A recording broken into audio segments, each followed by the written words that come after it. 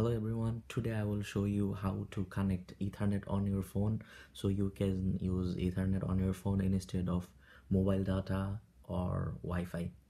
For this you need you definitely need a router and you need this LAN line. I used cat5e and you need usb 3 to gigabit ethernet adapter. As you can see this usb 3 and this end is gigabit ethernet connector to connect with your rj45 end and from usb 3 to usb-c connector to connect your phone.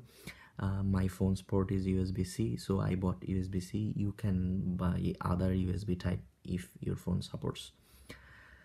So now i'm gonna show you how you can connect. At first you have to connect this LAN line on your router and other end with your uh, USB to gigabit ethernet connector.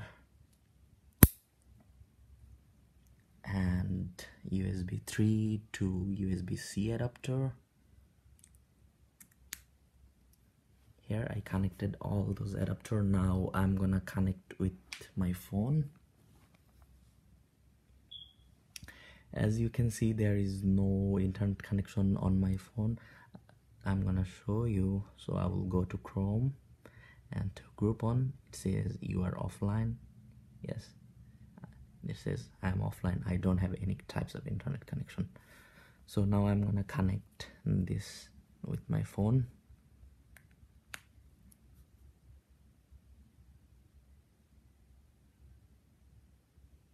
here you can see the symbol cam and it says ethernet cable connected.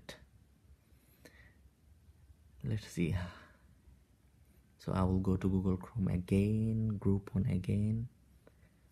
Bam as you can see it's here. Let's see how much is the speed. So i will type internet speed test run speed test that's more than 100 megabits per second download speed.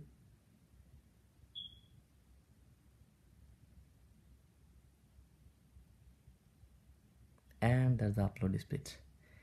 It's it's more than 100 megabits per second. So as you can see these are pretty fast because it's LAN line. So now you can use ethernet on your phone instead of using Wi-Fi or mobile data when you are at home. Hope you enjoyed the video. Please give it a try and let me know how did it work. Thank you.